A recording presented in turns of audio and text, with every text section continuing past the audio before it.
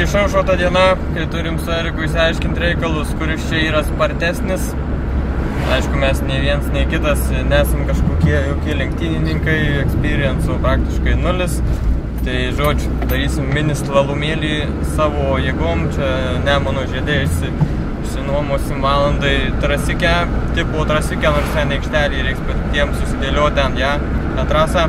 Tai va turim butelių, nes kuoliukų tai tikrai neturim. Tai žodžiu, sudėsim butelius, biškį vandens įpylėm, kad stabiliai stovėtų. Susidėliosim trasikę ir žiūrėsim, kuris greičiau ją apvažiuos. Žiūrėsim, kaip seksis. Turėtų gal visai būti smagu. Nu tai važiuojam, pasižiūrėsim, apsuksim ratą. Kažkokiais plotais sudėta gaidys. Ne, varom tenais, prie visų žiūrovų reis.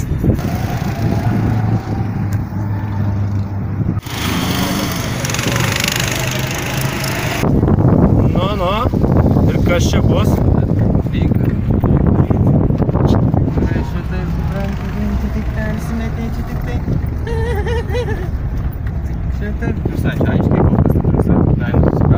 Tai, o tai ties kuria vieta jūs greitai pasigausite? Tai čia kokio greičio tas valandas. Čia paskui, kad net negalėtum per plačiai jiem, čia tik tai taip fukt. Tai čiūkš, čiūkš, tik tai, o ne, ne, ne, ne, ne, ne. Čia tik tais. Kur čia toks taigus posūkis, čia mano vairas tiek neišneša.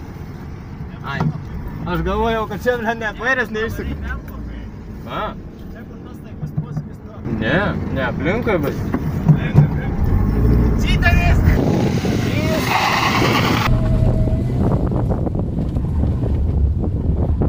tą vairą žituliuotai eina, šiek tiek pavargsti. O.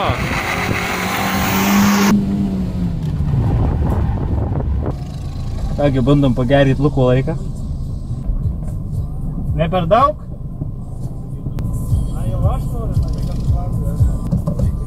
Aš galiu papirsi. I'm ready.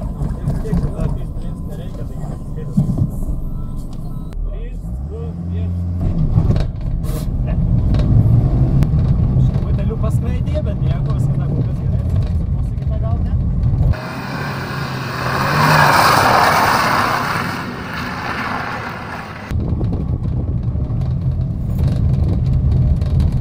Aišku, įsilėjo kraujas. Net užkaito virš darbinės.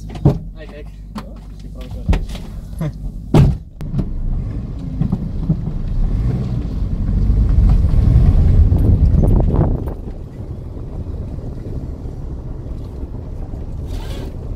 Da turi būti 3-2-1, o ne 3 ir varai. Dabar, karočią, karočią, karočią. 3, 2, 1, go.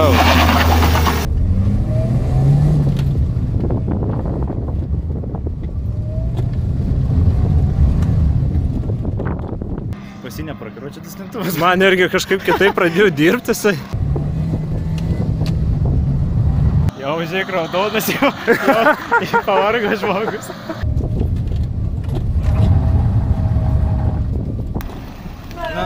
Pagerinai. Tai gerai, tai tiek nors jau nevasingai. Prikolis.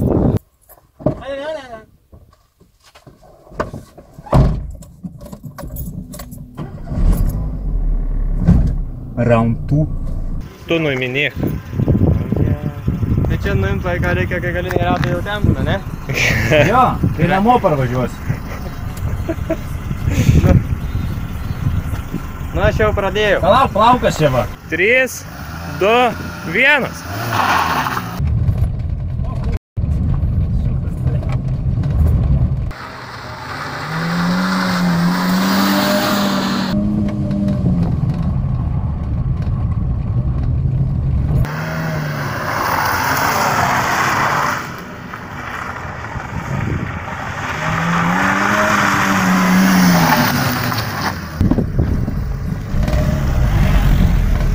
Lukas pamiršo paleist laiką. Ai, Net jau Tavo laikas 3 minutės. girdėjau, kaip damas siekia arką ten su dešinė jau. Žia, žia, žia, žia,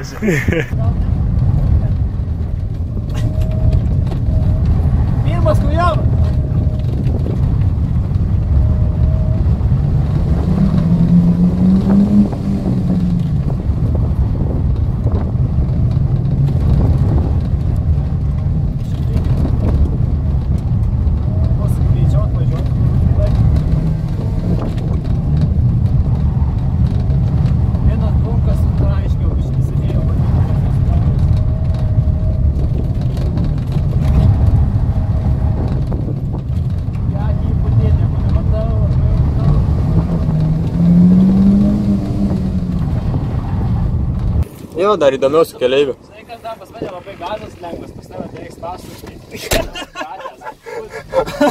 Atrodo, bus didesnė bėda, nei tu galvojai. Vareiktų, na, čia pasisėdinė lieva. čia galima išskrist per langą gali. Aš nežinau, kaip atsitikti. O, kova. Ir, o jau snapdžiai, kaip į košę. Pavažiuosi su mano, suprasi, kas tikri stabdžiai yra. Tai čia tau tai košiai kažkokie. Visai dar kol kas ir dūmai nerūko. Nu, davai. Nu, tai jau kai paleidau laiką, tai jau gali važiuoti. O, blema, pasičia. Oi, tu. Vos nepaleidau. Bet pasižinok, žinai kas? Pasi mažiau reikia ir vairo pasukti, kad pasuktum daugiau nei mano. Atkame čia. Kaip gerumas. Eik tu, na. Eik tu. Kaip jisai iš sėdynės neišskrido aš nesu. Nežinau. Čia tai ku žiaura. Jis jau dabar žvėgia. Dabar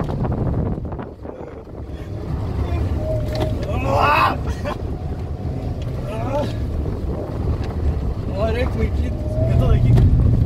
Nes tas putinas susistojo iš tikrųjų. Nesikeik ir reikia negali. Žiūri visą tautą. Paskui juoksis. Jaučiu muziką uždės. Čia už tai, eik, tu paleido vairą. Bus pagavus. Gerai, paskutinis ratas nesuko. Ar gal? Ne veltui jis. Ah, fuck! Ne veltui jisai ir važiuoja tik keturis ratus. A, ja. Čia tris dabar čia už viso. Visam tą vairą. Eik, tu, va. Ai, tu ši. Čia tai ragas, kad nenuskynė dar nežinau.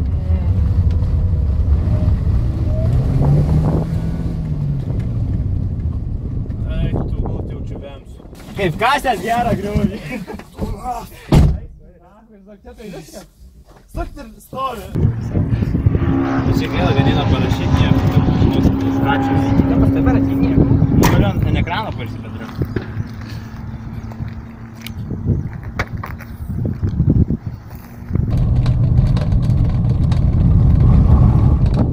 Vyrukai. Žiūriu kaip kimba, na?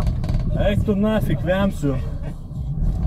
Erikai, nepyk, jei privemsiu į tavo mašiną. Na.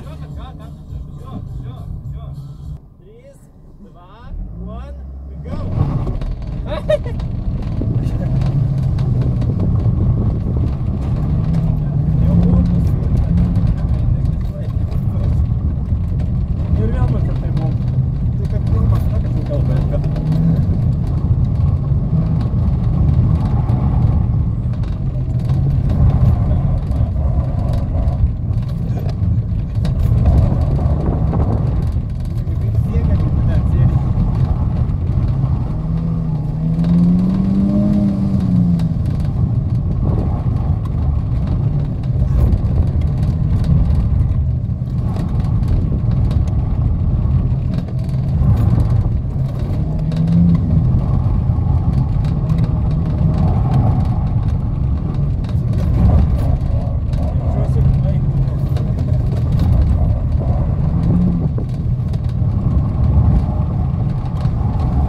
Tvorą į.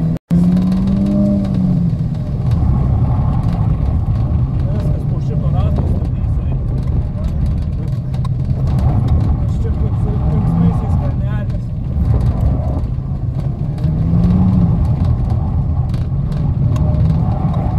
Nu, Erikas, tai nesijuokite, taip kaip mes važiavom.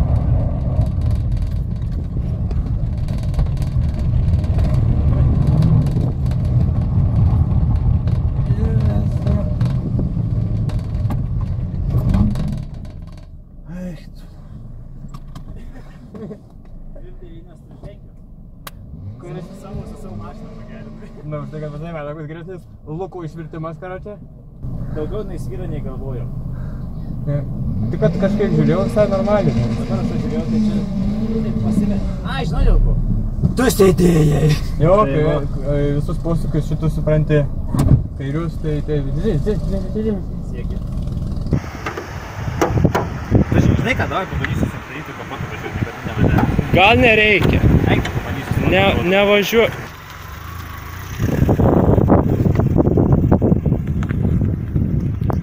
Ką, padangos biškiai nukentėjo, švelniai sakant. Mano tai jos nebuvo dar stebuklingai geros, kaip švelniai sakant. Bet eriko tai tokios labai neblogos buvo.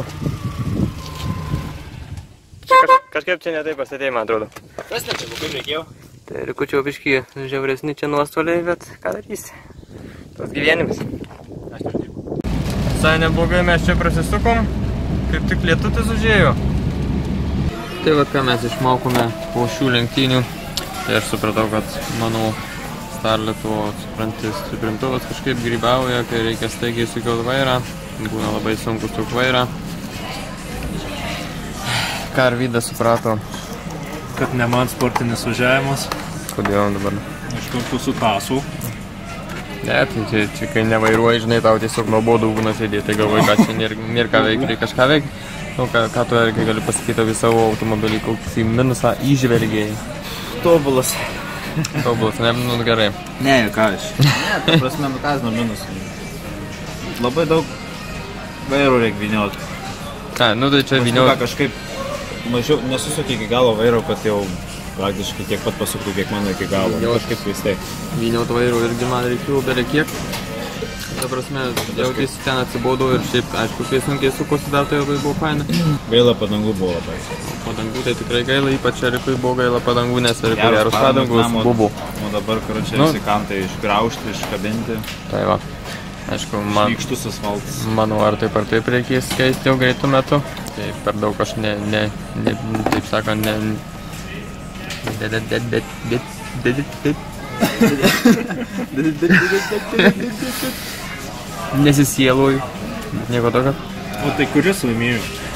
Tai vad, kuris laimėjo, tai mes pažiūrėsim, nes aš dar taip tiksliai nežiūrėjau, ten tiksliau aš nežinau net, kuris ten, kaip ten šitie laikai, čia viens matau, kitas matau. Šimtųjų. Jo, iš tikrųjų tai žiauriai, žiauriai panašiai. Paskui apsikeitė mašinom, tai irgi ten labai panašiai viskas ten suprantat. Iškai man prašiau, sekėsi su tau. Nu, nu jo, Kažkaip nustebino Buvo. vairas. buvo į- įdomus Eriko pravažiuoti, taip po savo, tai Eriko tokia kaip, nu šiek tiek gal, gal ir daugiau biški subuoja, taip tokia. Biški jo, Biški lyg tai lipnesnė prie kelių, nes nu, šiaip jau logiškai, nes padangos platesnės ir, ir, ir naujesnės ir, ir didesnės. Vertimas yra. Ir jo, ir va, iš, išvirtimas lūko yra padarytas. tai va, man reiks, man reiks irgi išvirtimą pasidaryti lūko. Ir tada dar beje užsirašiau į eilę jau restauruotą amortizatoriam, tai biškai patrumpins štoką, padarys tampesnius ir bus biškai geriau. Nes dabar vieną kartą atrodo buvau per rimtą duobę tokią, tiksliau ne duobę, o taip tokį įdubę tokią pravažiavau ir buvau, kad siekia jau taip plojausi kaip metalas į metalą. Taip sakom, susismaugė visas amortikas iki pat galo, nebuvo kur jam eit. Ir biškai jisai ten viduj atsitrinkė į korpusą. Nu, žodžiu. Tai va, bet kol kas dar gyvas neišbėgo ir užsirašiau į eilę. Biškai yra eilutė nemaža, bet ką darysi. Ten siūlų gatvėje Kaune čia restauruoja. Visai neblogai daro ir gali padaryti biškai sportiškesnį, biškai patrumpinti stoką ir panašiai. Kartojimas bus kada nors? Tikrai ne šitoj trasoj. Nu, Tai ne šitoj vietoj, tai galime stovimo aikštelę kokią susirasti didesnę, ką pasidėlioti ten. Vis tiek savaitgaliais dažniausiai stovimo aikštelės būna tuščios. Sorry. Aš jau bus sukonstravęs į du kukulius vaikščiojančius. Ką? Reiks kažkada pakartoti kažką tai panašaus, tik tai, kad manau gal reiktų ir jūs įtraukti, kad prisidėtumėte irgi, tarkim, prie tų lenktynių. Ir, ir tarkim, galbūt e, toks kaip ir kartu ir biškimytas gautųsi, toks kartu kaip ir biškai praleidimas, pralaik, laisvo laiko praleidimas, bet reikėtų didesnio ploto, reikėtų geresnio asfalto, tai nu, žodžiu, bet čia kad nors kažkaip tai gal, kada. Ir kažką nebonkų padarysim. su pusę vandenį pripiltų. Aišku. normalaus reikia. Reiktų nebonkų. Pervažiuoja ir paskui pakraujuoja viskas ten. Ant asfalto. Jau tada pasidaro baisiai slidu ir minus 3 minutės kokios iš ant laiko pasidaro. Tai, Jis ten tos balus vaikščioja. nu, Mašina apsis. nors iš kitos pusės, kaip, kaip, kaip ta prasme neturi kuoliukų, tai vietoj kuoliukų naudot butelius yra visai variantas. Nu jo, tik tai žinai, ką dar galima, nes kai prisipili vandens ir tie buteliai ten permatomai. Nu, tai sirupo privaryt, kad būtų raudo. nu, aš galvoju dar nudažyti vienu momentu. tai, kad negal.